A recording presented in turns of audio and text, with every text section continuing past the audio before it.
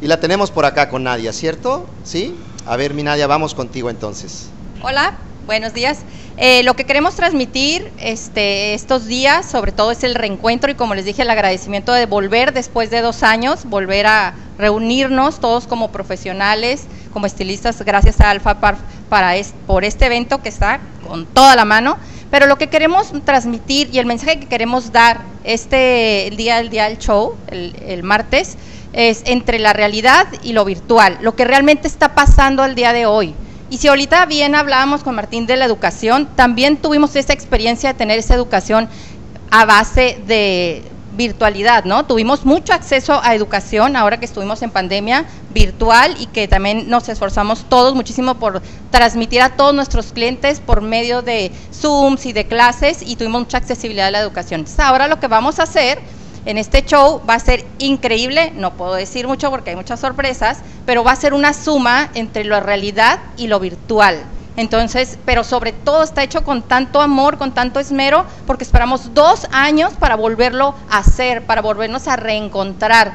Entonces, ahí el día de ayer que nos vimos todos, casi lloramos, nos abrazamos y a todos nuestros clientes y ver cada momento y cada minuto que vamos a pasar estos grandes días aquí, van a ser inolvidables, pero sobre todo el mensaje es el de agradecimiento por seguir y el poder retomar y el saber cómo lo virtual y lo realidad se va a fusionar para seguir trabajando, porque va a ser algo que se va a quedar ya. O sea, va a ser una manera en la que ya vamos a estar trabajando en cuestión de educación, presentación, incluso dentro de los negocios, ¿no?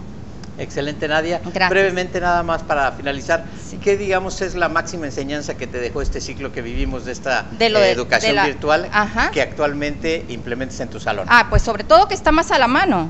¿no? Que para mí lo más importante es que la educación estuvo más a la mano, porque era simplemente, se quedaron muchísimas transmisiones grabadas, se quedaron muchísima educación, información, y que la tenemos a la mano en un clic y siempre dedicarle ese tiempo y, acceder a ella, ¿no?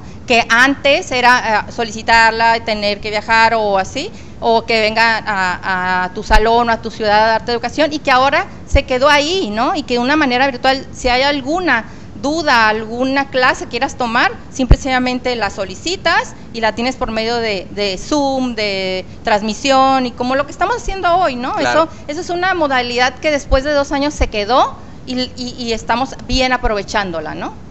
Excelente, gracias, Nadia, muchísimas gracias.